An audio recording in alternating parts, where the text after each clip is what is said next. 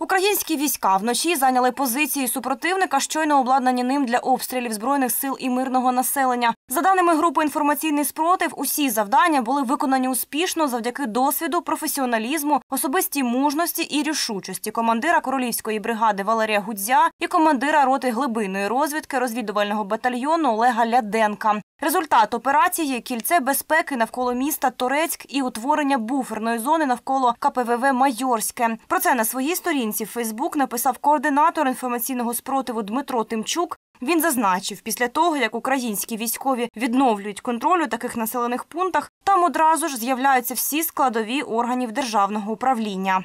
У нас по- появилось там тактическое плечо, мы можем э, там за нашими позициями, образно говоря, есть несколько дорог, которые мы раньше не могли использовать, потому что они были, ну, грубо говоря, передовая. А сейчас они уже фактически могут эксплуатироваться как ракадные. Как минимум только из-за этого это уже большой плюс. Самі ж місцеві зізнаються, якби не українські військові, то загинули б, якщо не від куль, то від спраги чи голоду. І вдячні не лише за спокій, а й за турботу про побут жителів донедавна так званої сірої зони. А тепер територій повернутих Україні. Все, перестали стрелять. А сначала вон шифер там, посмотри, там уже некоторые листы по третьему разу, два листа. Того, что когда уже стрелять, уже привычно, знаешь, что куда летит и что откуда прилетит. А вот когда затишье, когда не стреляют, тогда уже страшно конкретно. Если бы не хлопцы без воды сидели, вот уже последний раз воду привозили числа 20 июля 2014 года.